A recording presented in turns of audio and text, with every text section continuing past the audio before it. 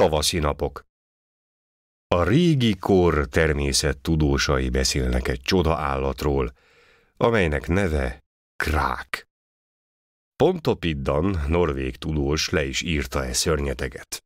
A krák egy töménytelen nagy tengeri állat, mely len a tengerfenéken lakik, s melynek néha-néha eszébe jut a vizek színére felemelkedni. Mikor aztán rengeteg nagy háta felmerül a hullámok közül, befedve tengeri szappal, telenőve tengeri fügével, tengeri tulipánnal, koral erdővel, akkor a penguinok, kormoránok azt gondolják, hogy ez valami új sziget. Oda telepednek, ott fészkelnek, rondítanak a hátán, a krák engedi azt békével. Időjártával aztán belepi a fű a hátát. A hajósok meglátják. Né, milyen szép zöld sziget. Kikötnek rajta, birtokukba veszik, házat építenek rá, a krák mindazt tűri szépen. Azután elkezdik a hátát fölszántani, bevetik árpával, a krák engedi a hátát szántatni, boronáltatni. Legfeljebb akkor, mikor tüzet raknak rája, gondolhat annyit magában, hogy milyen nagy baj az, mikor egy ilyen nagy állat nem tudja a hátát megvakarni. A hajósok mindig jobban találják magukat rajta, már kutat is ásnak a hátán, s ugyan örülnek rajta, mikor víz helyett zsírt meregetnek fel a kútból. A krák engedi szivattyúztatni a zsírját, hiszen van neki elég.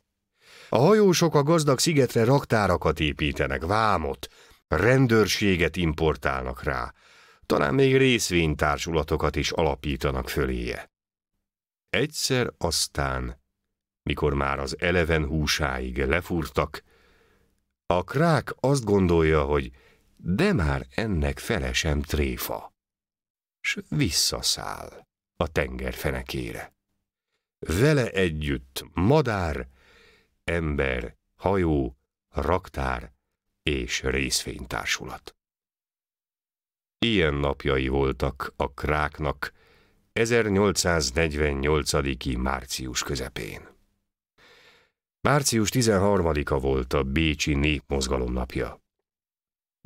A könyvet, ideges olvasóm, nem viszlek ki az utcára, nem mutogatom meg neked a feltört kövezeteket, a hevenyészet torlaszokat, nem kísértetem veled utcáról utcára a legelső sebesültet, a szabadság legelső mártírját, kit társai véresen haldoklón vállaikra vettek, s úgy mutogatták a népnek végig a városon.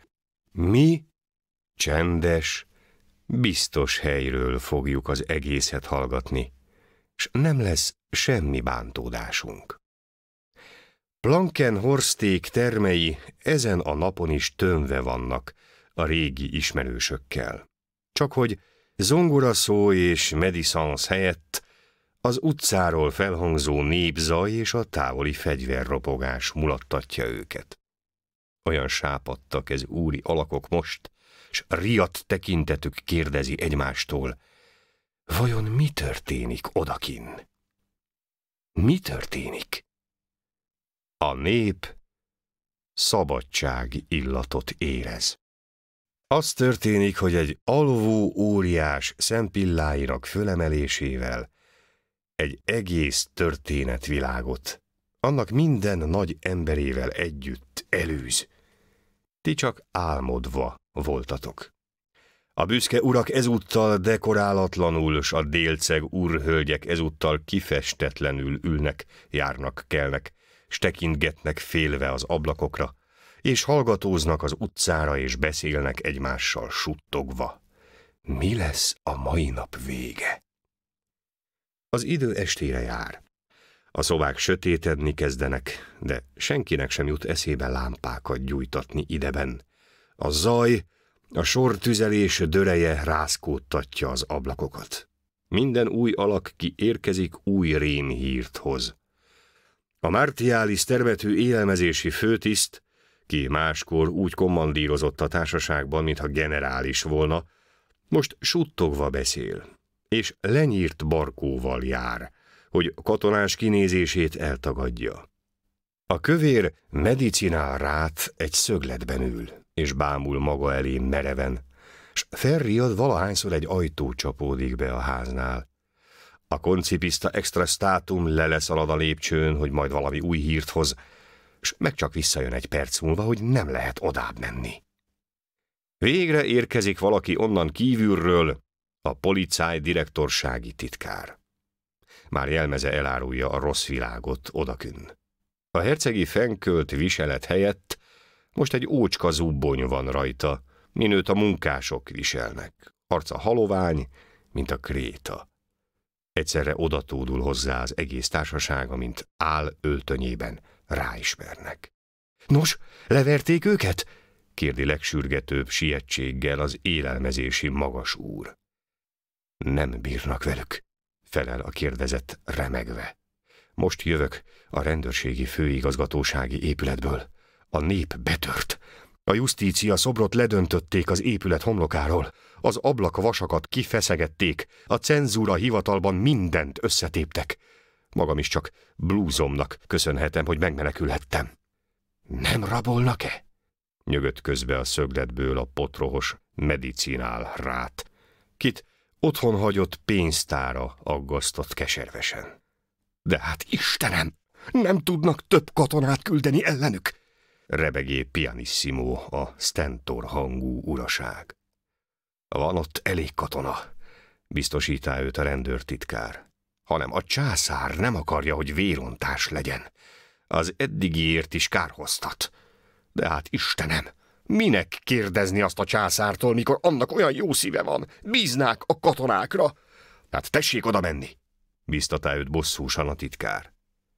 De mikor a katonák úgy lőnek, hogy egész sor tűzből egy golyó sem talál, Magam szemével láttam a Mihály téren, mikor a tüzérek a sárba dugták az égő kanócokat, s kimondták, hogy nem fognak a népre lőni. De hát én Istenem, mi lesz akkor mi belőlünk? Éppen azért siettem ide, hogy önöket értesítsem a történtekről.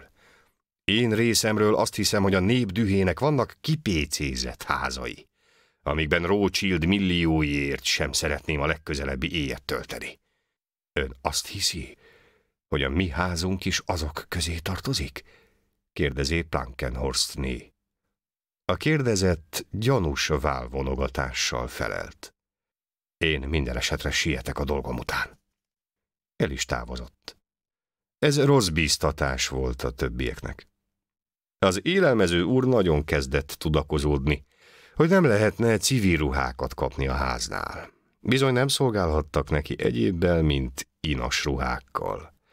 Már pedig a Plankenhorst család livréje nagyon rossz paszportot volna ehhez az utazáshoz. De ismét jött egy új alak. Ez már nem jött, de bebukott. Alig lehetett ráismerni. Ez a tolerálni finomságú államkancellári referens ki ezúttal egész kontenanciájából ki van zavarva. Kalapja oly laposra verve, mint egy palacsinta, kabátjának fél szárnya letépve, a hátán egy sáros tenyérnek félreismerhetetlen nyoma, az orrán egy indiszkrét találkozás zsúrlódásának véres sebhelye. Lélegzete is elfúlt. Mi történt önnel? kérdi tőle a házasszony előzékeny részvéttel. A Taleraoni államférfi nem veszti el Galgen humorát.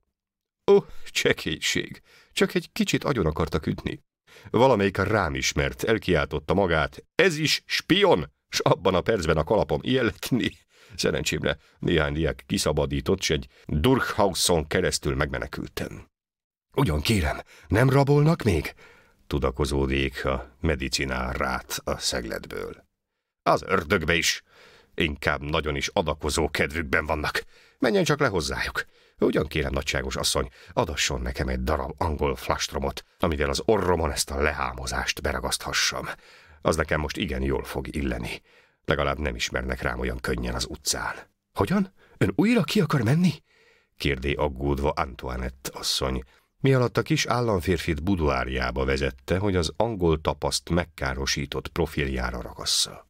Sietnem kell, suttogál bizalmasan a duodec nagyember. Előfogatokat és reléket kell megrendelnem az államkancellár számára. Hogyan? Hát ennyire vagyunk? Alkalmasint. Ön is vele megy, nem de? Bizony, itt nem is maradok. Tanácslom önök is, amint szép szerével lehet. Majd meglátjuk, szólt Antoinette asszony, egész nyugodtan, és azzal hagyta futni a kicsiny urat az orrára ragasztott fekete flastrommal. Az élelmező úr még vissza akarta tartóztatni, ne menjen, hát ha agyonverik. Több eszem lesz. Én fogom legjobban kiabálni, hogy le Metternichel, éljen az aula! Az utcákon az aj egyre nőtt, benn a szobákban egyre sötétebb lett, az élelmezési úr az égre kért mindenkit, hogy valamiképp gyertyát ne gyújtsanak, hadd higgye a nyers tömeg odakin, hogy itt már nincs senki idehaza.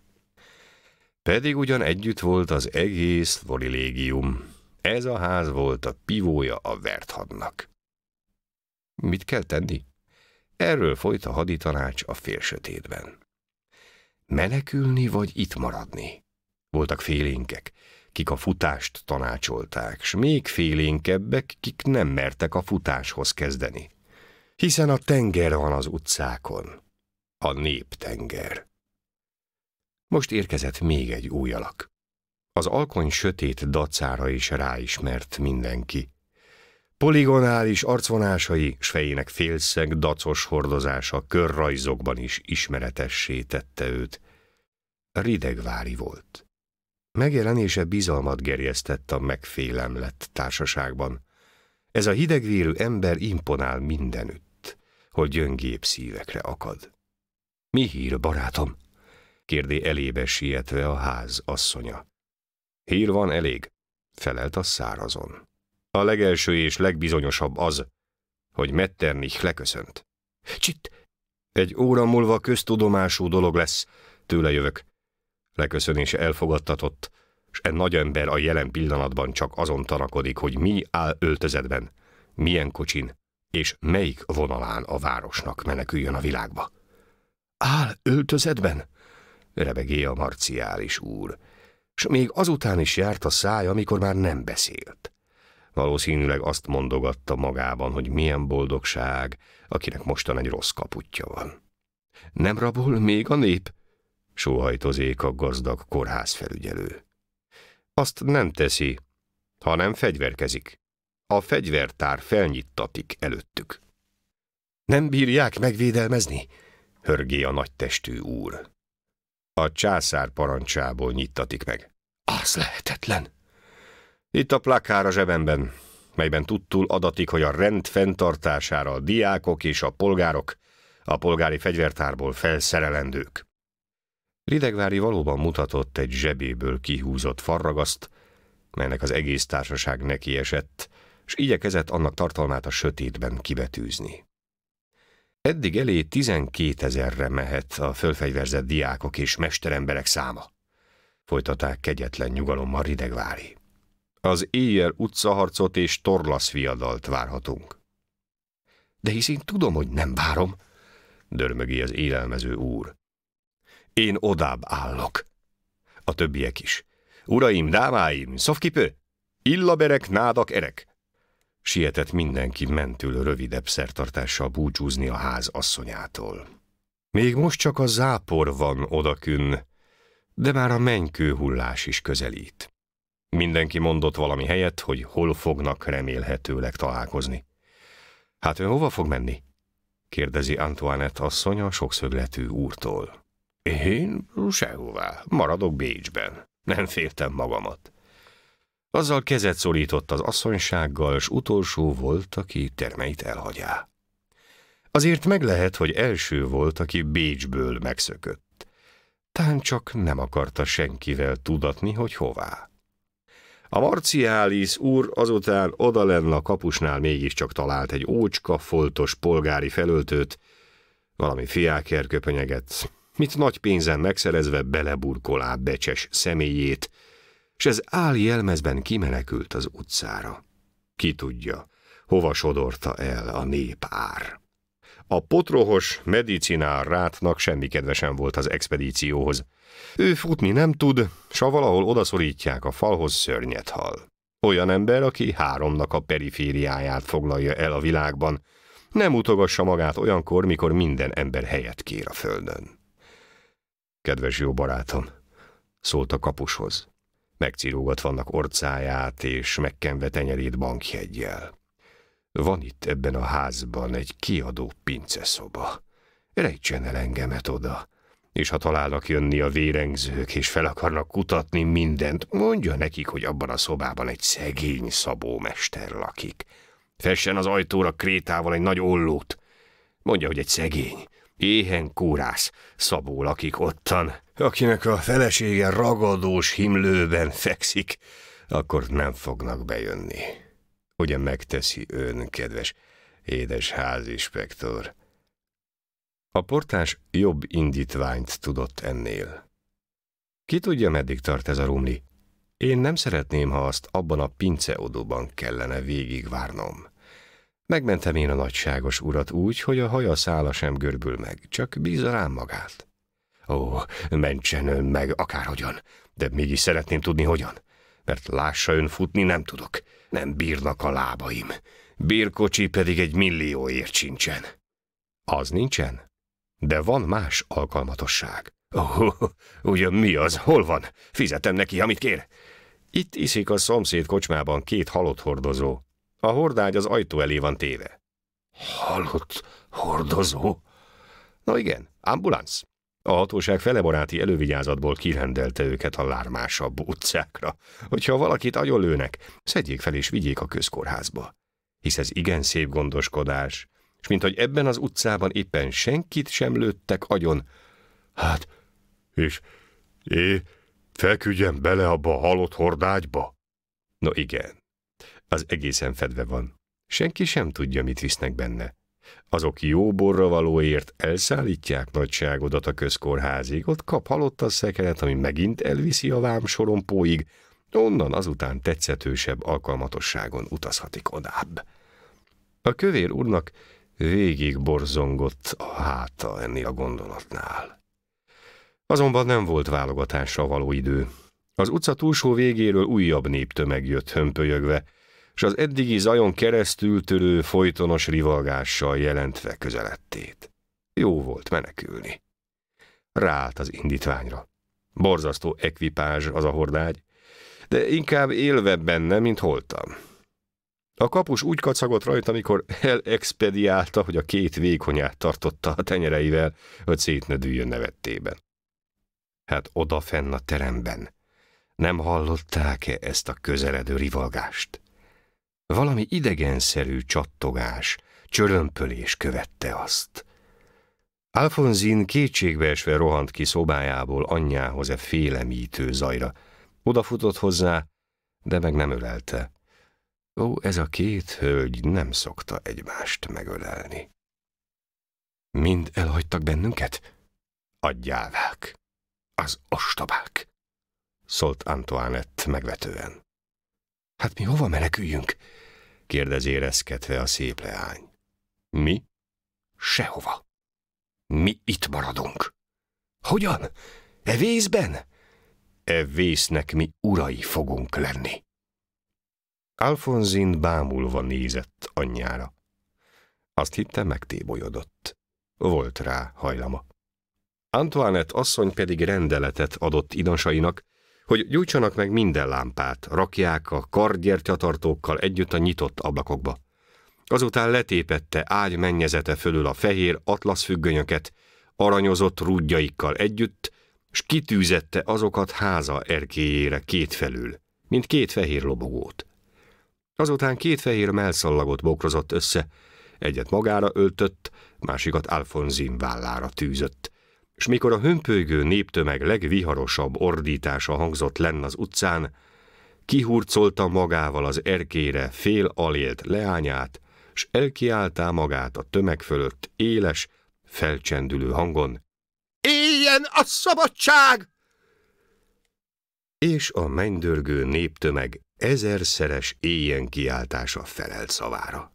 Kalapokkal, kendőkkel üdvözlék vissza, és ahány tömeg elvonult a kivilágított Plankenhorst palota előtt, lelkesült viváttal köszönté fel azt, míg az át elleni ház ablakait csörömpölve töré össze. Annak a háznak a gazdája bizonyosan ott van most a barikádokon elfoglalva, s nem jöhet az ablakaiba gyertyát rakni. Hát, bíz, azokat beverik. Hanem Plankenhorst vivát.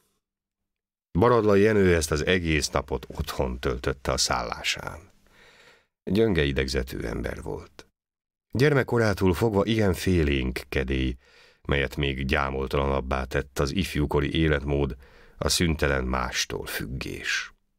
Hozzá volt szokva, hogy akaratát mindig alárendelje a másénak. Elébb szülői, azután főnökei, végre szeretője akaratának. Most azután, mikor mindazon támaszokat, akikhez eddig tapadt, egyszerre elseperte a vihar, mikor a monumentális nagyságok, kiknek szobrai képezték, Laret pinátjait szétrepültek, mint polyva töredék, Jenő úgy érezte magát, mint aki maga is semmi vélett. Az egész napot lázban tölté, és bezárkózva szobájába ott járt alás felnyugtalanul. Még csengettyűje zsinórját is elmetszé, hogy senki ne háboríthassa jöttével. Az utcai zaj, a fegyverek dörgése minden idegét folytonos reszketésben tartá. Feje elkábult, képtelen volt gondolkozni. Nem bírt eszmélni arra, ami történik. A szabadság az új korszak nagy jelszavai nála nem találtak hitre. Lehetetlen azoknak győzni valaha. Akikkel ő megszokta együtt élni, azok közt nem találkozott ő az eszméknek egyetlen egy barátjával sem soha. A népben pedig nem volt hite. Az utcai harc zaja tudatá vele, hogy ez a nép most valamit cselekszik. De ő nem tudta, hogy mit. Talán őrjöng, talán bosszút áll. Talán győz is. De hogy mire megy diadalával, az iránt nem volt semmi eszméje. Csak egy tárgyra gondolt az egész vihar alatt. Alfonzinre. Mi történt vele? Talán idején elmenekült, talán védelemre talált, de hát ha nem. Hiszen környezete elég hatalmas volt, de hát ha ez a környezet magát sem tudja többé védni. Sokszor úgy jött neki, hogy ki kellene mennie az utcára, és elsietni a Plankenhorst házhoz. Mindig visszaborzott tőle. Az utcákat kartáccsal seplik most a kövezetből, barikádok emelkednek. Hova indulna el ő e túl finom idegekkel? E minden ízében reszkető testtel, ez izgalombeteg szívvel? És mit segíthetne ott? Soha még csak fegyver sem volt a kezében. Őt nem erezték soha vadászni, mint bátyjait. Ő csak rajzolni, zongorázni, szépen írni tanult. Kart sem volt kezében soha. Kit tudna ő megvédelmezni? S mentül tovább haladt a nap, a lázforrongás künn az utcán annál magasabbra nőtt, és Jenő aggodalmai annál félelmesebb alakot öltöttek Alfonzim miatt. Este kilenc órakor már nem állhatta tovább be kínlódást, elhatározta magát, hogy kimegy, és fölkeresi Alfonzin lakát. Ha meg nem védheti is, legalább együtt vész el vele. Ó, a bátrak, az erős idegű emberek nem tudják megítélni, mi óriási heroizmus kell ahhoz, mikor egy ideg, gyönge ember elszánja magát, hogy oda menjen a veszély közé. Mit az erősek kinevetnek, föl sem vesznek, de melynek jelenlététől a beteg kedély pokolbeli kínokat szenved. Nem a bátraké, a félénkeké a pálma, kik rettegnek, reszketnek a golyó fütyöléstől, de azért mégis neki mennek becsületért, szerelemért, hazáért, asszonyért. Jenőt szerelme vitte neki a vésznek, melytől írtózott. Minden védőeszköz nélkül ment le az utcára, maga sem tudta, hogy mi fog vele történni, ha len lesz. Amint kilépett, egyszerre elkapta a népár, és ragadta magával. De ez egészen más áradat volt, mint amin őt ő szobájába zárkózottan képzelt magának. Nem egy dühöngő vérszomjas csapat, hanem egy örömében örjöngő tenger fogadta magába. Öreg és ifjú, úr és napszámos, kofák és úrhölgyek, diákok és katonák egy gomolyba keveredve, egymás nyakába borulva, egymás csókolva, sírva, örjöngve, ordítva, tombolva, reketté kiabálva torkaikat a szabadság nevével. Diadal! Diadal! Hangzik mindenfelé. Röp ívek adatnak kézről kézre, egy-egy szónokot felkapnak a légbe, hogy olvassa el a népnek a legújabb fejedelmi határozatot. Azután a szónokot agyonölelik, agyoncsókolják, s tovább hömpölyök az ár, míg új hír jön, új beszéd, új kitörése az örömnek. A nép öleli a katonát, ki egy óra előtt sebeket ütött rajta. Csókolja megnémult ágyút, éjjent ordít annak, akit gyűlölt. Csak a fehér kokárdát lássa kalapja mellett s nagybetűkkel írja a házak falaira, szent a tulajdon. Jenő maga is elkábult ez örvénylő árban. Nincs annak az érzésnek neve, ami így pillanatban végig ömlik az egész tömegen.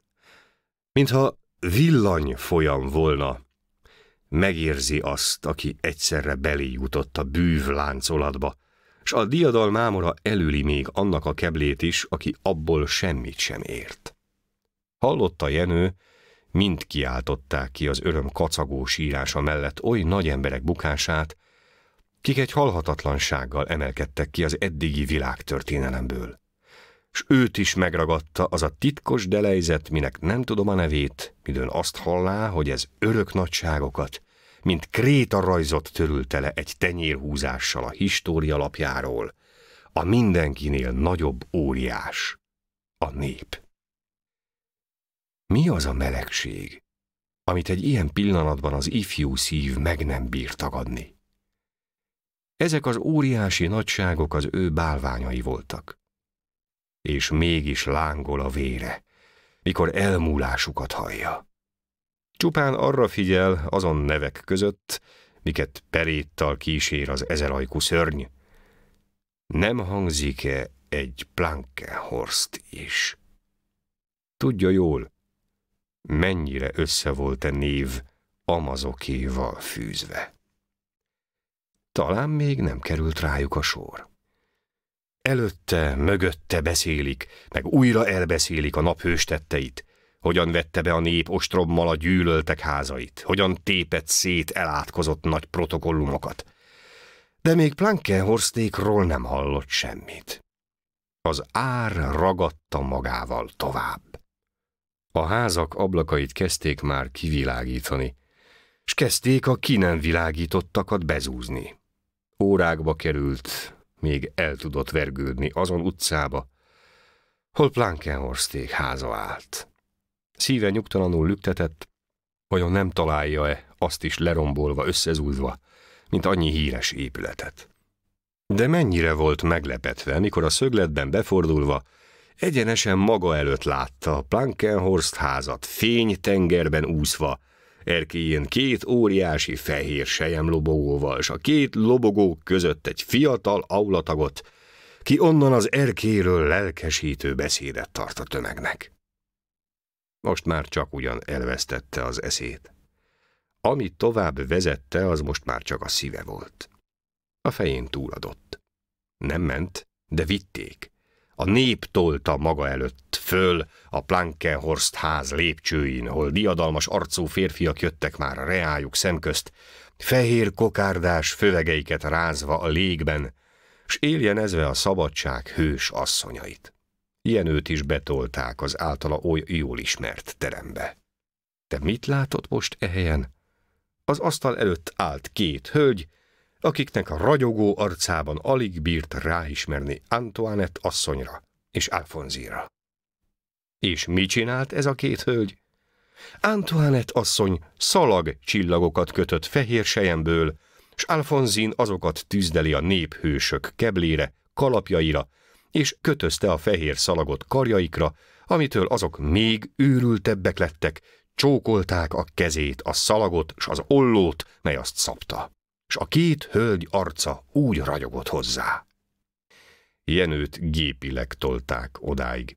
És mikor Alfonzi meglátta őt maga előtt, hirtelen odarohant hozzá az öröm sikoltásával, széttárta előtte karjait, magához ölelte, nyakába borult, összecsókolta, s zokogva rebegé.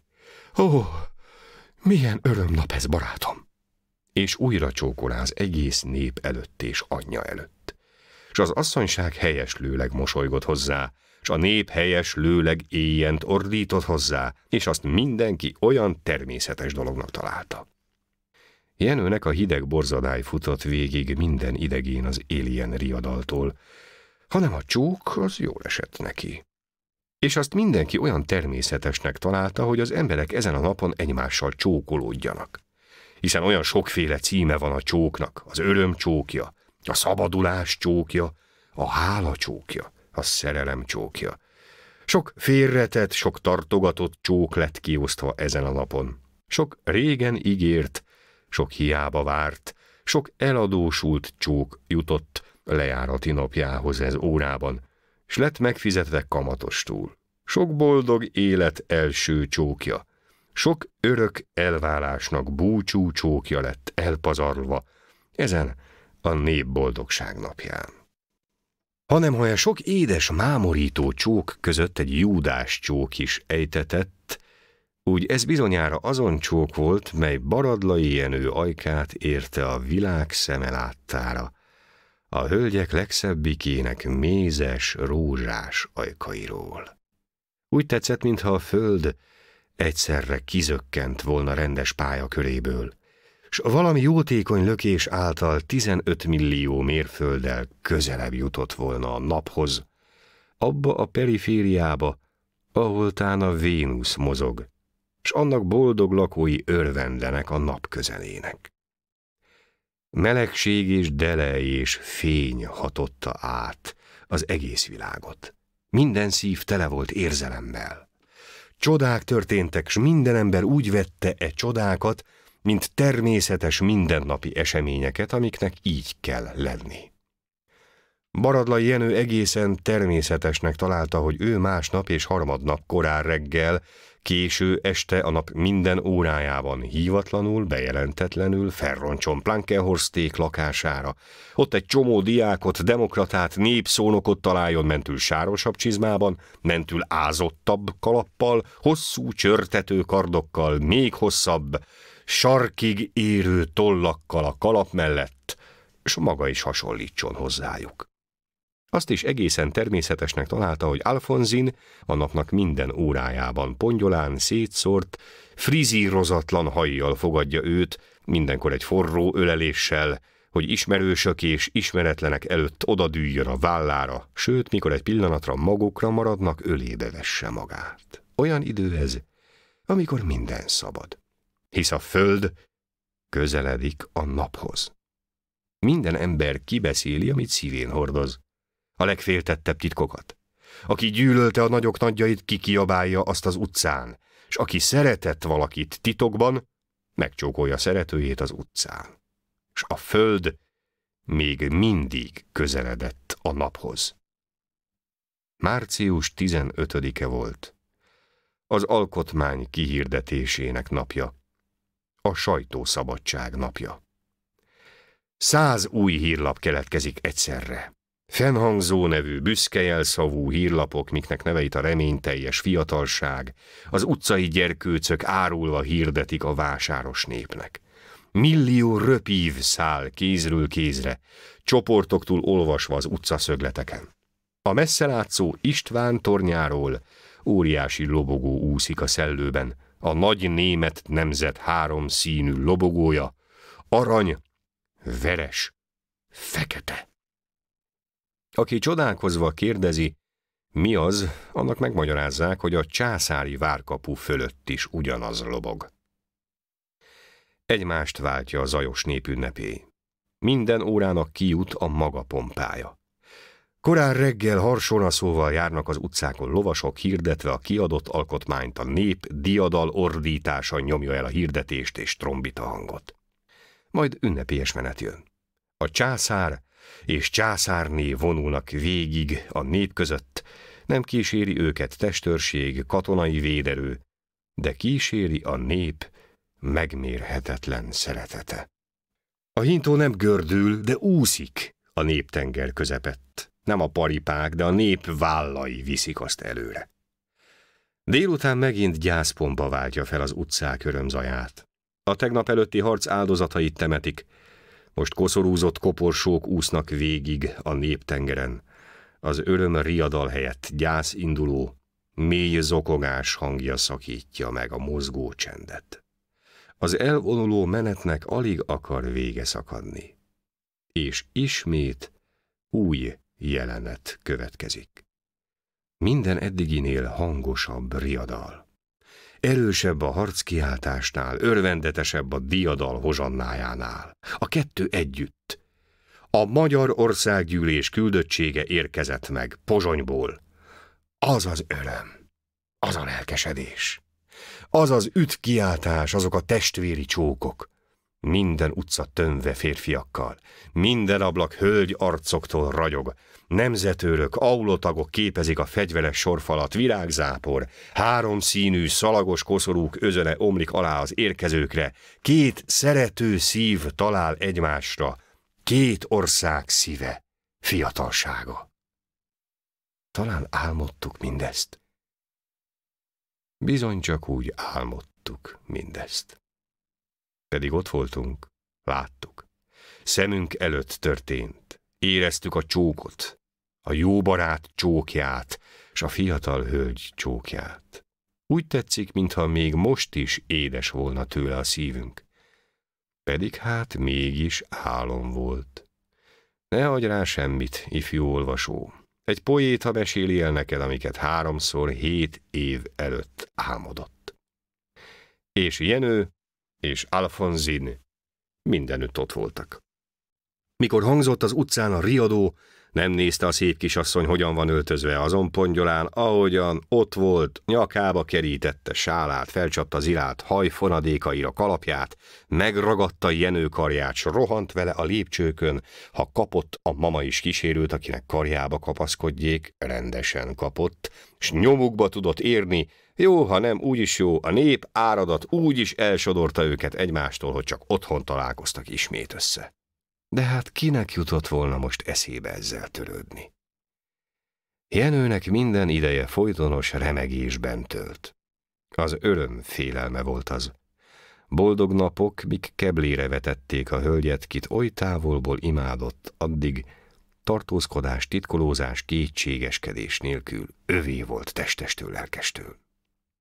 Oda tapadva hozzá a hölgyiség egész átadásával rábízva, föltétlenül odaengedve. Hogy ne lett volna boldog a közüdvösség közepett. S midőn az éj késő órájában egyszerre napfény derül át a boldog városon, ezernyi fákja lepi el az utcákat, kivilágítva minden ablak, tűzvonalak lámpákból a házak párkányain, gyémánt homlokzatú paloták, transzparent kapuk, s e fényár közepett felzendül a Rákóczi induló halott feltámasztó zenéje, s e szent hangok bevezető malasztja után megjelennek egymás után a legfényesebb erkélyen a magyar hongyűlés, leghíresebb vezérfiai, és szólnak a néphez. Ez volt még az álom. Jenő azt is ott nézte az utcáról tízezernyi forrólázas néptömeg közepett, karjai alatt Alfonzin keze, mely édes, titkos szorítással tudat vele tündéri vallomásokat, és a vállán az ifjú hölgy égő arca, és arcán annak forró lehelete. Minő melegséget kellett éreznie akkor. És midőn ama fényes alakok között, kik egymást felváltva szólnak a néphez arról az erkélyről, egyszer csak megpillantja testvérét. Ödönt. Ez is itt van. Ő is egyike a hongyűlés ünnepelt szónokainak, s most föllépett velük együtt a népszabadság ünnepét üdvözölni. Beszéde elragadó. Minden ember szíve sebesebben dobog utána, aki őt hallja. Alfonzin kendőjével lobogtat felé. Csak Jenő idegein fut végig sírbolti hideg borzadály. Neki minden íze reszket, midőn testvérét ott meglátja. Mi súgja lelkén végig ezt a borzadalmat? Mi jóslat, mi sejtelen költ szíve úrjaiban diszharmóniát? Mi mondja neki azt, hogy a nap örömeért valakinek meg kell fizetni? Talán tud róla valamit? Mi az az erkély ottan? A második lépcső ahhoz a megígért magaslathoz. Fáradtan értek haza az izgalmas nap csatangolásaiból a szerető párok. Jenő még egy lopva adott csókkal lett jutalmazva a lépcső alján, de még az sem melegíti őt fel. Otthon egész éjjel lázban volt, és nem bírt elaludni. Alfonzin pedig midőn anyjával egyedül maradt, fanyaran, kedvetlenül hajítán szögletbe nemzeti szalagos kalapját, s fáradtan vetéle magát a pamlagra. Ó, beunom én már az egész világot.